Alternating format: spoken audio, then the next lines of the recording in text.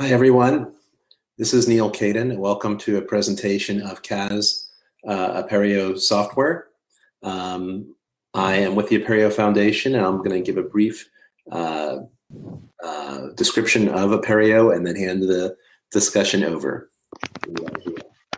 So Apereo Foundation is a, uh, together with partner organizations, represents a network of over 180 institutions and commercial affiliates worldwide.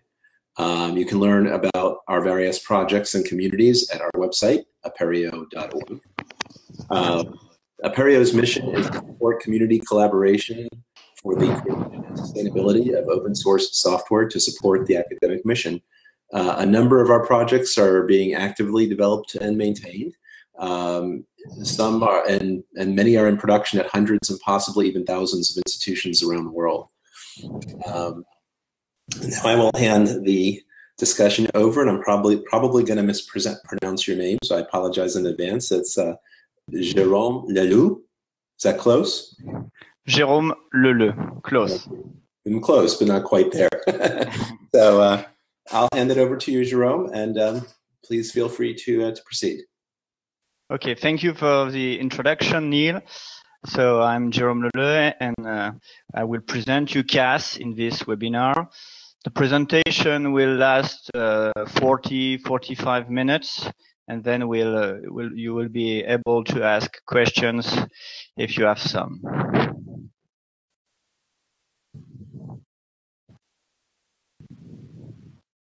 So just a, a few words about me. I'm uh, fairly involved in the CAS open source project. That's why I'm presenting it uh, right now, I'm currently the chairman of the project. Uh, to be to, to, to make a summary of my experience, I'm globally a, a technical leader. And I, I, it's been like something like six years that I'm working on the CAS, CAS project. I'm also the creator of pac4j, uh, which is a library to um, uh, to, to support multiple protocol on the client side, and pac4j is integrated in the CAS uh, server project. That's why I'm mentioning it.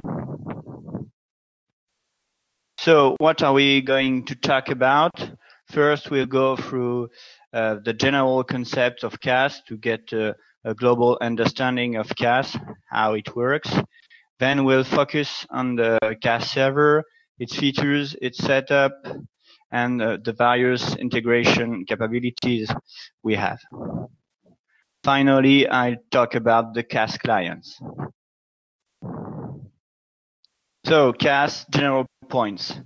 CAS stands for Central Authentication Service. It's mainly, if you want a very simple definition, a web SSO. SSO, it's a single sign-on. It means that you can log in into multiple web application only once. It's a very useful system as we have more and more web application uh, in global uh, in global systems. The way it works is uh, greatly inspired by Kerberos for people who knows uh, how it works with tickets. It's it's close in in in the CAS uh, server. It was hosted by uh, Jasig, but as a Neil explained, it's now in the Apereo Foundation. It's a, a, fairly, let's say, old project because it started in uh, the year 2001. It was created at Yale, and the current version is a version 4, and it started at version 1. So it's a, an old project which has uh, had a lot of evolutions, of improvements over time. It's an open source project. That's a great advantage. I won't enter into the details. There are seven committers associated with the project.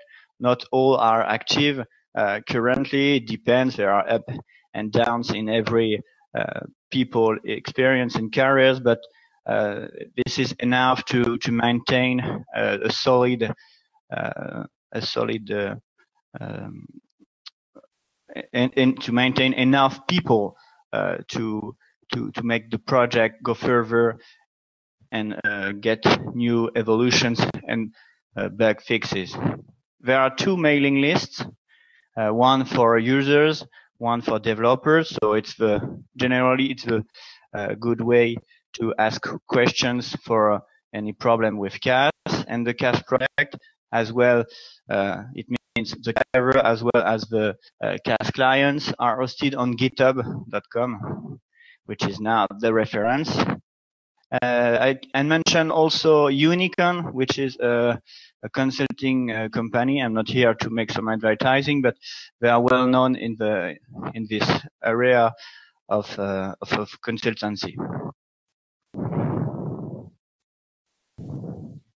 So let's get into the the key components of CAS. CAS is composed of a, a server, one server in Java. It's written in Java. It's the technology. And the server has two primary roles. Uh, it validates the credentials of the users. Uh, if you provide your pass, your login and your password, it's the server which is responsible for uh, checking uh, this credential. And the server also creates the SSO session. The SSO session, it's uh, the session during which the CAS server will recognize the user and will be able to authenticate him across all the application. So uh, it's written CAS TGC. It's the name of a cookie, in fact, which add the the SSO session of a CAS server. There, are, there is another name uh, not mentioned on this slide, but there is another name which is a TGT, a ticket granting ticket. A ticket granting ticket is the SSO session of the users of a user, and the TGT is saved into the CAS TGC cookie. And for each application, because the SSO session is across all the application the user can access, and for each application the user wants to access, there is ST, which is a service ticket, which is an authorization to access to the application. So we have one CAS server, uh, which is a central component, and we have clients, all the applications which want to, to be linked and work with a CAS uh, mechanism needs to be uh, integrated with a CAS server, and for that they need to uh, embed some CAS client. So there are many CAS clients in many technologies, and we we say that uh, web application uh, is classified when there is a CAS client integrated in it to be able to communicate with the CAS server and handle uh, the SSO mechanism. And for the communication between the clients and the server, there is a public protocol which is an, uh, at, at the time uh, at version 3.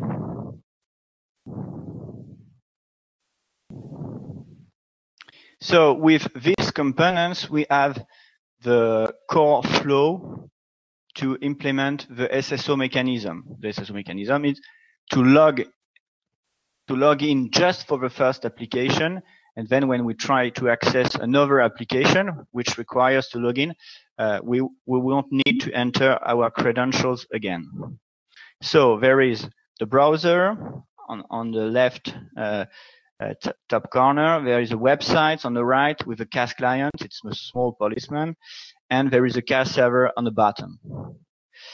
The first step is when a user tries to access a protected URL of your website, let's say it's step one slash app slash protected. If this URL is protected, the CAS client, whatever technologies and the way it will be implemented globally, uh, generally it's the way it works, the uh, CAS client will intercept the, the HTTP request, the call, and will redirect back to the CAS server. It's step 2A and step 2B, and the call is to the, the URL, your, your host slash cas slash login with the parameter service equals slash app, uh, which is uh, the URL of your application. The call to the CAS server must be in HTTPS. It's the way uh, the, the, security will be uh, will be uh, we will set up.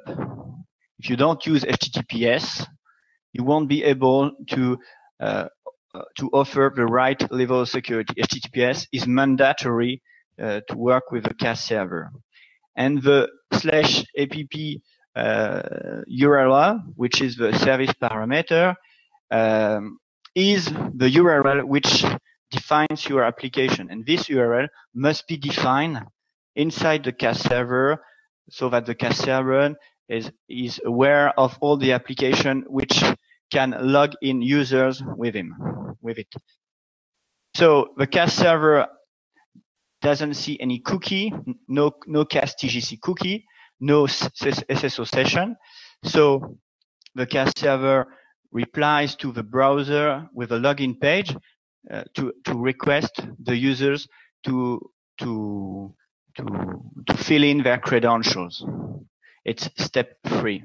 Step four, the user uh, can fill in its credentials and, the, and uh, post them to the CAS server. Everything happened in HTTPS for security reason, as I already said. Uh, it's step four and step five. If the authentication is successful, it means if the login password uh, uh, are validated by the CAS server, the CAS server will reply with a CAS TGC cookie, which is the TGT, the ticket granting ticket, which is the SSO session, and a ticket, a ticket parameter is the service ticket, which is a one access, one time access to the application. It's, it's step 5A and 5B. So we go back to the CAS client and the CAS client, whatever its technology, is able and uh, to receive a service ticket and validate it uh, against the CAS server. It's step six and step seven. The CAS server says, yes, it's really a good service ticket. It's a valid one. Uh, you, the user which uses this service ticket is, and you see, it's the uh, the icon with the the green the, the green user, in fact. So that's the way it works. We have a, a, a session which lasts um, maybe 30 or one hour, 30 minutes or one hour or several hours, and we have a which can and the CAS TGC cookie will be reused several times, and we have a service ticket with just one access. You can use it only once, just one access to an application, uh, and it lasts a small amount of time, something like 10 seconds, for example. What is really interesting is the second flow. If you try to access uh, another website, in fact, what will happen?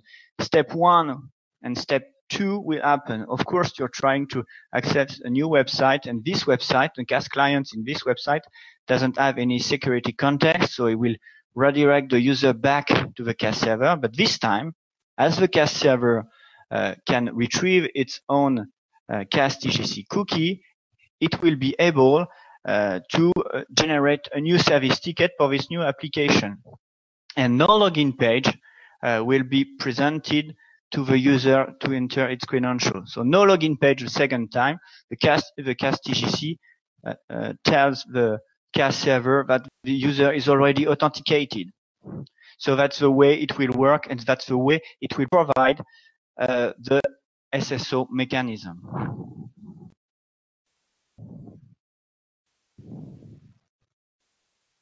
So that was the, the, the very simple scenario, the login the login flow. We can have uh, advanced scenarios with the CAS server. We have three of them, which are listed on the slide. Uh, the first one is the renew. It's a renew parameter. It's a parameter which uh, will force the authentication. What does it mean? It means that even if you are already authenticated, even if the SSO would uh, would allow you to uh, access an application without without entering your credential, even without, even if the SSO mechanism is enabled, the renew parameter will force the login page to be displayed and the uh, user's credential to be entered. So renew force the authentication. On the other, uh, on other side of the, of the spectrum, we have a gateway parameter, which uh, this time is meant to test the authentication. That is, every time you try to access an, an application, if a protected URL or area of your application, if you are not authenticated, the CAS server will display a login page to, to, to request the user to authenticate. If we use the gateway parameter in the URL, uh, the CAS server won't display any login page and will return directly to the application without any service ticket. It's a way to test if the user is already authenticated. If the user is already authenticated, a service ticket will be uh, will be uh, sent by the CAS server because the user is already authenticated. If the user is not authenticated, no service ticket will be uh, sent to the application and no login page will be displayed. These two features are advanced concept and not always necessary, but that can be helpful in some use cases. And we have the most powerful feature of the CAS, uh, CAS protocol and server clients. It's the CAS proxification. We have a very uh, simple diagram on the, on, the, on the bottom of the slide to explain that uh, how it works. And there is a, a, a, slide just after, but I won't enter into the details. We will just focus on what is CAS proxification. Proxification is like for network. Proxification deals with user identity. If you are authenticated in your application, and if your application want to access uh, a web service, the CAS protocol allows you to proxify your identity from the website to the web service. I think it's one of the one maybe the only one the only protocol which allows you to do that user identity proxification. So how it works? At the at the time when we validate the service ticket, when the application validates the service ticket received from the CAS server, the the, the website can uh, add an additional URL on which it will receive uh, additional information to finally, I won't enter into, into the detail, but it is, it is a bit complicated, to finally get uh, a PGT. It's like a TGT, but it's not a cookie. This time, this time it's a parameter. It's a token. It's an opaque string, which represents a DSS session. And thanks to this PGT, the website will be able to request a proxy ticket, a PT, a proxy ticket, which is a ticket, which is a one access ticket for a web service. This time not granted from a, a, SSO session held in the, in the CAS TGC cookie, but directly from a PGT parameter. And this way, the website will be able to call the web service providing this proxy ticket and the and the same uh, service slash uh, proxy ticket validation will happen. And this time the user identity will will be respond from the CAS server to the web service uh, with also the proxies. It means the website use during all the communication process. It's it's not it's not a problem if uh, the CAS proxification is not completely clear, but you know you can proxify the user identity through uh, web applications to another application. In, on, on this slide, we have the detailed uh, uh, request exchange between the CAS server, the websites, and the web service. But I won't enter into the detail. You, you have it, and there are some documentation also uh, from from a CAS community uh, to to get a, a better understanding of this proxy flow.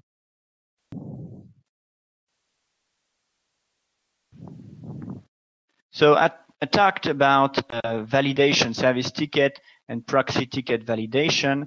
Uh, in fact, there is no not only one way to validate your service ticket or your proxy ticket received by a CAS server. There are several URLs in the CAS server for this validation. Uh, and these URLs have been created uh, along the evolution of a CAS protocol. Slash validate, which returns only the username as a plain text. uh, was the CAS protocol version 1. Then service validate slash service validate and slash proxy validate URLs have been created with CAS protocol version 2 when the proxy mechanism has been created and you can and you get username and you and proxies. So be, because the concept of proxy is is linked to the CAS protocol version 2. There is also the slash SAML validate URL to re receive in the application username and attributes in the SAML format. And since the new CAS server version 4, uh, which is linked to the CAS protocol version 3, we, we can now have username and attributes of the users and proxy in the XML format.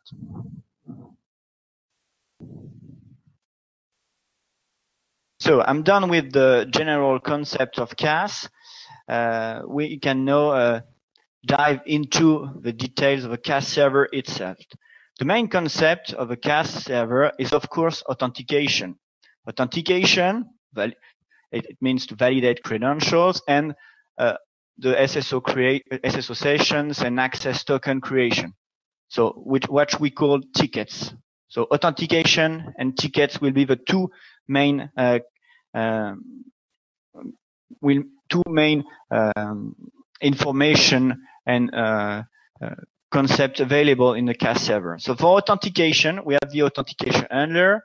It's the method you can use to authenticate and validate the credential provided by the users. We can authenticate users against LDAP using the LDAPtive library, uh, against database, Radius, X, uh, 509 certificates, SPNEGO, JAAS, or we can delegate the authentication to another identity provider.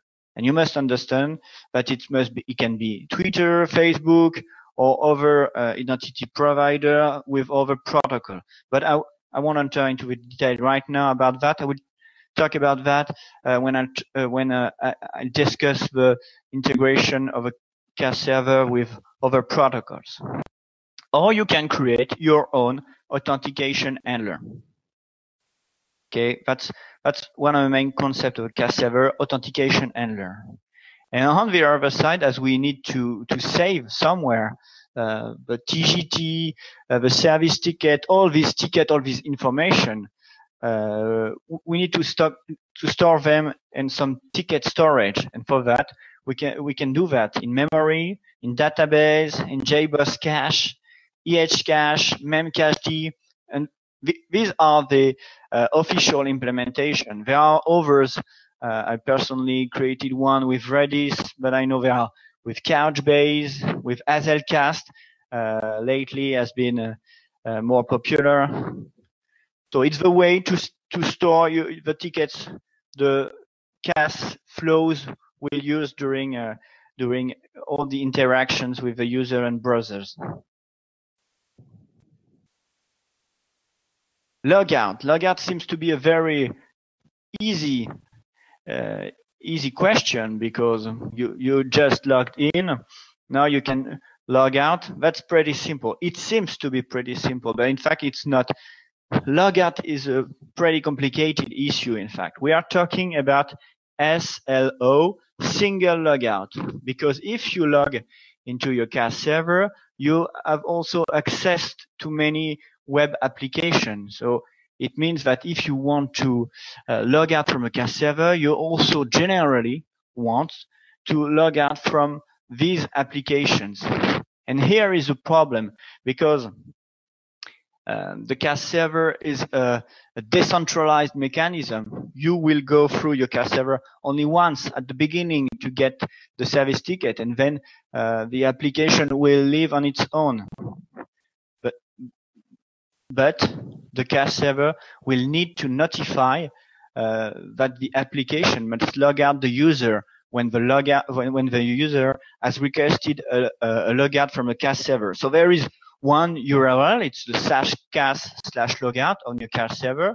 It's pretty simple for the CAS server, which destroyed the CAS cookie and some other information stored in the tick storage. But the CAS server will also call the the applications the user accessed to notify them that the, this uh, session for this user uh, must be destroyed.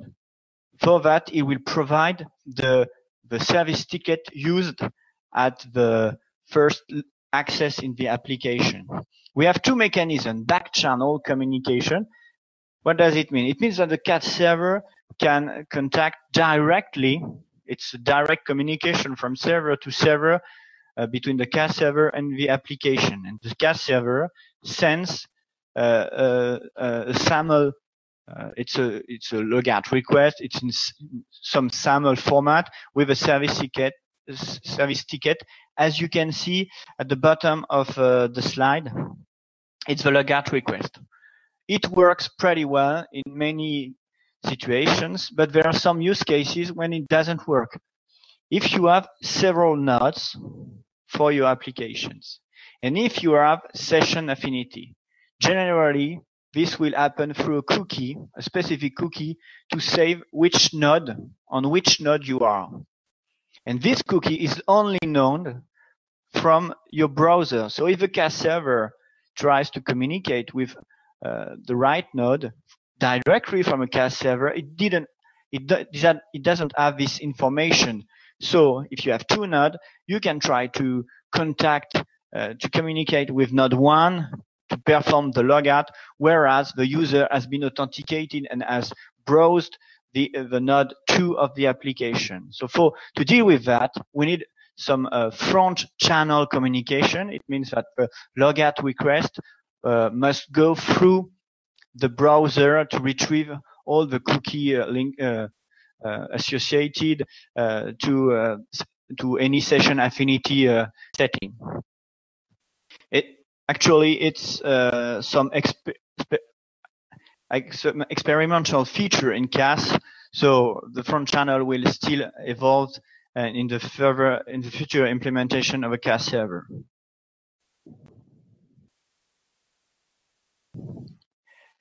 There are other features in the CAS server. There is a REST API, which is some API uh, with which you can log in a user, get a service ticket or log out a user. It's pretty useful if you have some uh, application on a desktop or on a on a mobile, which is not a website but a real uh, application. There is a Remember Me feature as well. Uh, remember Me, it's um, the concept of a weak authentication. If you provide your login and password and stay uh, in the same browsing session, it's a strong authentication. We are pretty sure it's still you in front of your computer uh, because the SSO session will end when you close the, your browser. The Remember Me doesn't work that way. The when when you use Remember Me with a CAS server, in fact, the CAS TGC cookie will not last only a few minutes, a few hours. It will last several days and won't be terminated when the browser is closed. It will have an expiration expiration date. So remember me will still be uh, enabled and active when you open when you reopen your browser. So in that case, we are less sure about the fact you are the right person in front of your computer. So we are talking about weak authentication when it's a remember me, but it's a pretty useful feature. You can see that in many uh, business websites right now. The web remembers you, even if you have closed your browser. Uh, if you come a few weeks later, the web server remembers you. That's a feature available in the CAS server. We have some audit capabilities and monitoring also, and there is CAS add-ons, which is uh, an open source project uh, developed by Unicon, which provides uh, several useful features also, but I won't enter into the details right now. the login page. Okay, we didn't put all our money in the design, to be honest, but it's good to see it at least once. It's the login page you will use to uh, authenticate on your CAS server. It's the default login page, and generally, CAS deployers are uh, using their own uh, customize UI customizations.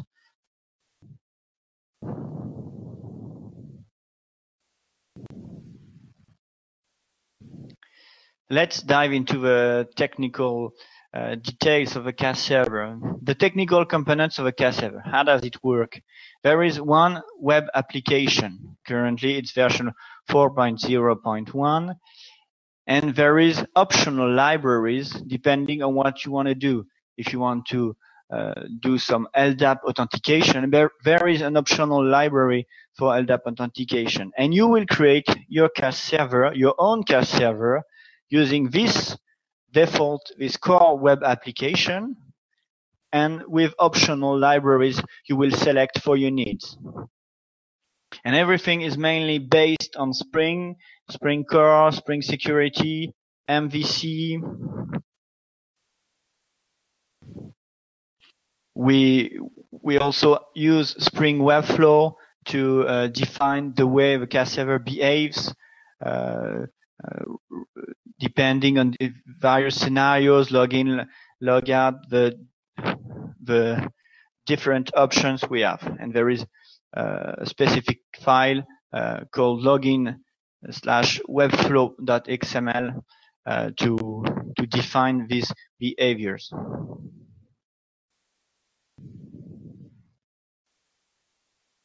I already said it. Authentication is a primary uh, goal of the CAS server. Doc. So many many classes, Java classes in the CAS server are linked to the authentication, uh, multi-factor authentication. In fact, MFA on, or what we call also level of assurance (LOA). Uh, in the CAS server, you can uh, use many credentials uh, internally and you can have a policy to uh, authentication policy depending on the uh, results of the authentication on these credentials. Currently, if you take a look at the CAS server, you will just see the login page with a login and a password. It's one credential, but we, you you could customize your CAS server to get one more credential, like some SMS or like some uh, token code received by email things like that. And the CAS server is able to deal with that.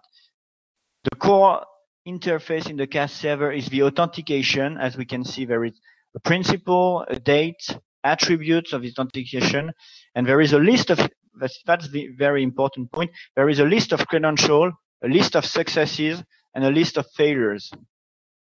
It says if we have many credentials, how many credentials have been successfully authenticated. And based on that, we can have a policy to define what should be the behavior of a CAS server. So the classes are listed. I won't enter into uh, the details of these classes, but internally the CAS server can support multi-factor authentication. You just need to customize the UI. So how to set up your CAS server? It's Java. So the best way to do that for a web application is to use the Maven overlay mechanism. So you create your own CAS server and providing in a pom.xml file that you are based on the uh, CAS server web app, which is a CAS server web application uh, WAR. And then you add all the optional uh, libraries required. And then you can also configure and override the right uh, Spring context to define uh, the timeout settings, the tickets, storage definition, all the authentication handlers, uh, and the configuration properties.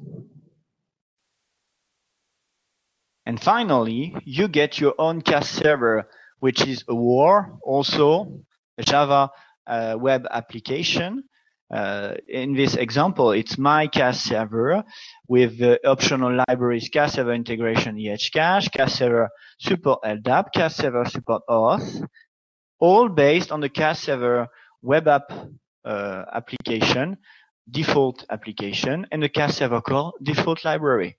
And then you customize and create your own CAS server. That's the way, the really the good way to do uh, you, your own own CAS server customization. No UI is available to do that. You need to programmatically uh, define uh, and in the Spring context configuration uh, uh, customize your own CAS server.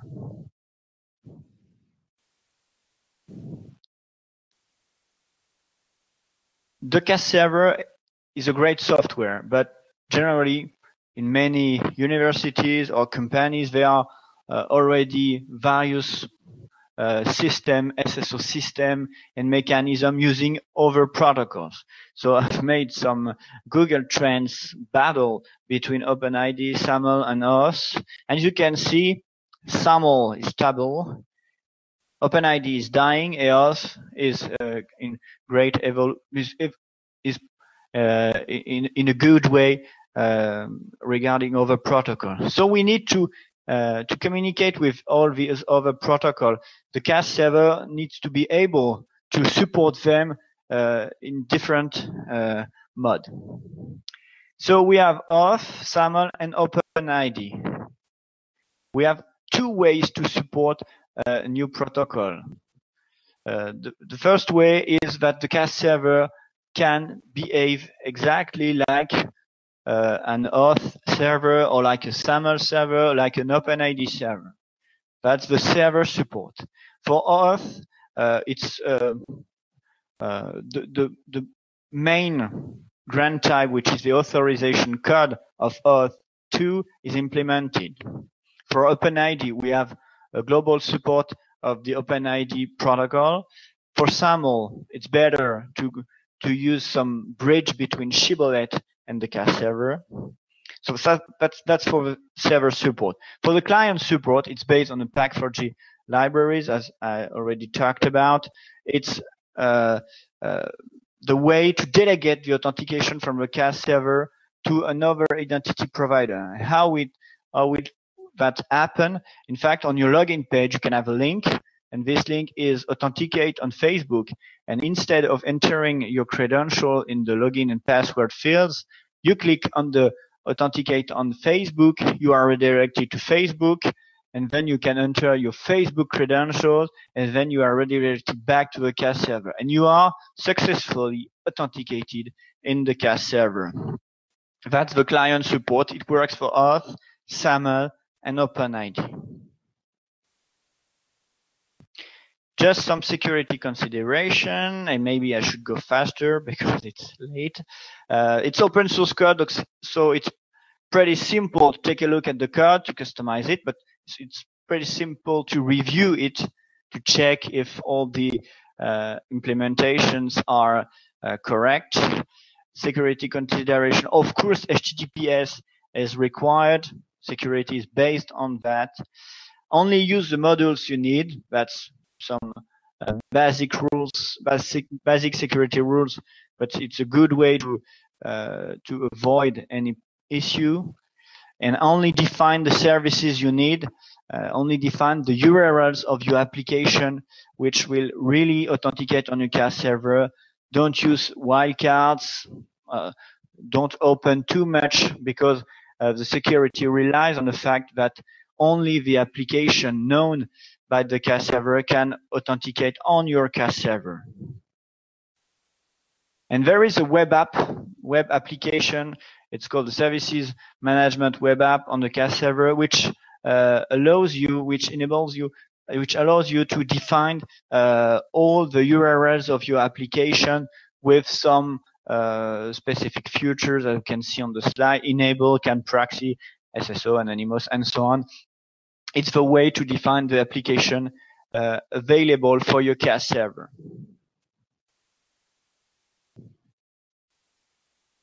So I'm done now with the CAS server. It was one of the big part uh, with the general uh, points.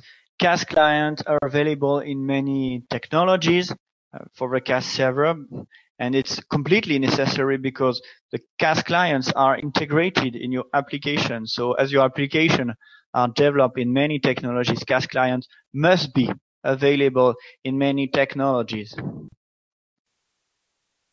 We have uh, the official clients, which are maintained by the community in Java, in .NET, in PHP, for Spring Security, for Shiro Apache, by me. And we have also a mod.cas uh, module for Apache, uh, which is a good way to uh, secure a web application you can uh, modify. because you, you just need to put in front of this application an Apache, a reverse proxy, and then you add the mod.cas module and protect your application as if you have uh, a CAS client in your application. These are the official clients, but there are others in various technologies. The CAS protocol is pretty simple, so many people have developed uh, their CAS clients. You have we have Node.js, Python, Ruby.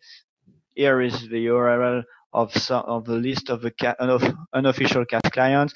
We have some uh, from for Play Framework, Webpack, and Vert.x. I created. Let's take an example. That's pretty easy. I take an example for the Java uh, CAS client. Uh, in a web application in Java, we have a file web.xml, uh, which defines the main um, filters uh, which apply on the application. And that's pretty simple. With a CAS client, you just need to define two filters. One is to protect the application. Uh, and as you can see, it's the filter on the top of the, of the slide. Uh, and you just define the, the CAS the, the CAS login uh, URL and the server name and the server name is the the application uh, is the application host. So these filters apply on the URL you want, and every time a user wants to access to this URL, the filter will uh, redirect the user to uh, the CAS server if, he is not already authenticated. And we have the same, we have the, the other uh, filter, which is a validation filter, uh, which will receive the Tavis ticket and validate it uh, via the CAS server. So with two filters, with a very simple configuration, you can protect your application.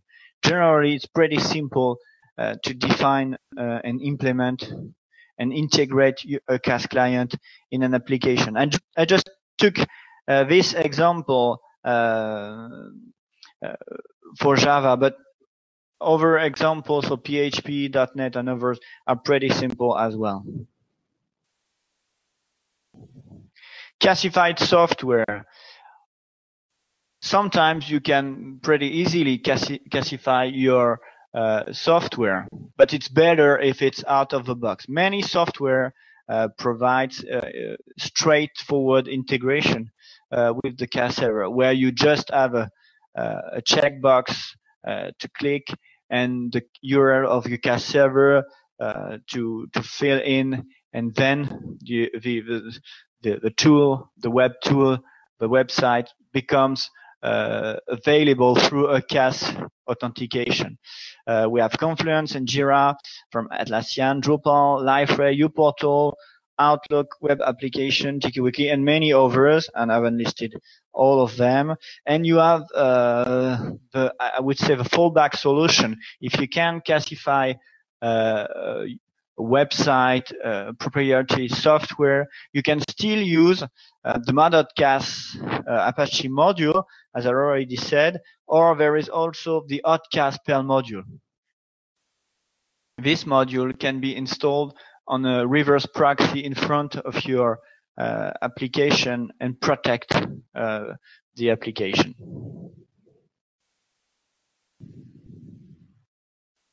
So I think we have made a great tour of uh, of CAS uh, from all the explanation about all the the, the components and uh, features and flows of a CAS server, of a CAS of CAS generally, of a CAS server, and of a CAS client. So I'm going to conclude now.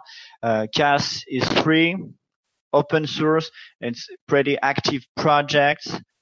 Generally, it's pretty easy to use CAS, really, compared to other protocols. Uh, the CAS server is a bit more complicated if you're not a Java developer, of course. Uh, but CAS clients are in your technology, so it's pretty straightforward. CAS uh, by design, I would say its architecture, its decentralized architecture makes it very uh, high performance. And uh, I hope we have coded uh, it uh, the right way also, but it, it, it's high performance. It has many features. I didn't enter in, enter into all the details. There are many features available and you can integrate it with many tools and protocol. So I would say it's a good choice if you need to, to set up your SSO mechanism. Thank you. If you have uh, any question now, I think I have one more slide. Yes, with uh, you, the URLs uh, to get started, the right one. You have, of course, you are on uh, Apereo, on GitHub. Uh, you have uh, the old wiki, the new wiki on the GitHub. You have all the information you you can need with these five URLs. I'm ready for questions.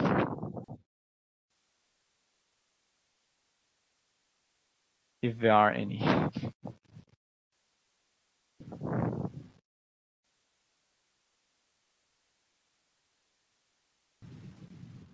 If anyone has any questions, feel free to put it into the uh, chat area.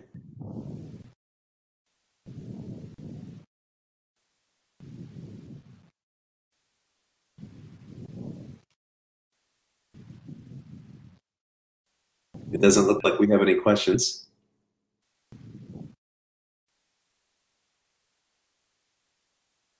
Okay. Ah. what is the difference between CAS and SHIB? Uh, I would say it, it's very different because CAS CAS is a protocol, is a server, and it's so and Shibboleth on the other side it's a server, of course, but it's SAML protocol. So it's not uh, it's not the same protocol. You have the same ID because with Shibboleth you need some uh, service provider and the identity provider. So you have a server and you have clients. Let's say uh, it's a very similar architecture, but it's not the same protocol, and it's a completely different software.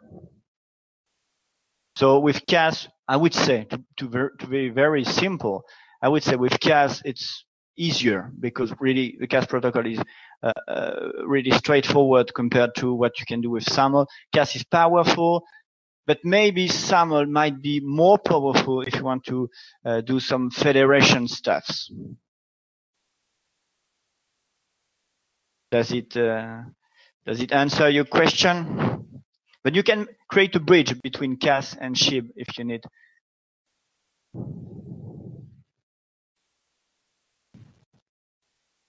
Go ahead, one more, no problem.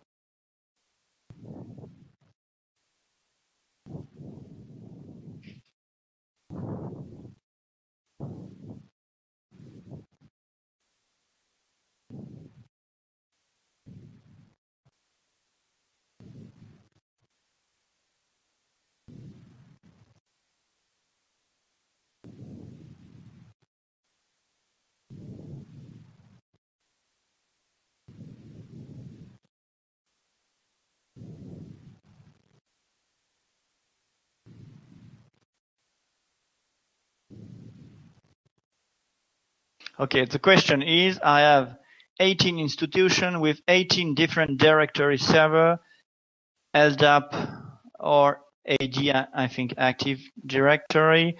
Can I use CAS to get all of them together for SSO? Uh, yes, yes, uh, yes. In, in fact, uh, if if you don't have any SSO, you will have uh, all your application linked to uh, one LDAP or one or another uh, authentication mechanism. So it's pretty complicated to to handle properly the security. In fact, it's uh, for each application you have potentially one security breach.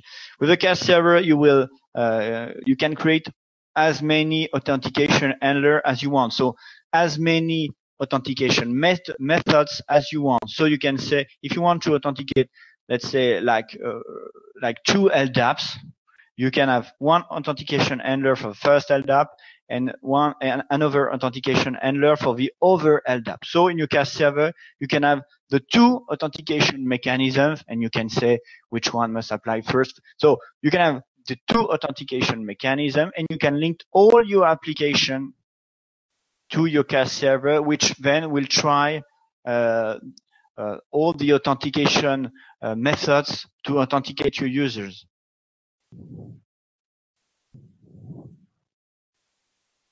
So clearly, uh, whatever the number of authentication authentication mechanism you have, you can use the CAS server and plug in the CAS server all your authentication mechanisms. And only the CAS server will try to validate the credential via all these authentication mechanisms. It will be safer to do things uh, with the CAS server.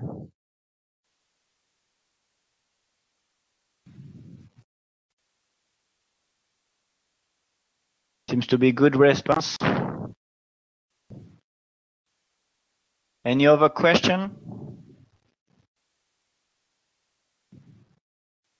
In any case, if you have a question uh, you think about in the future, the CAS mailing list is, is really the right place uh, to ask it.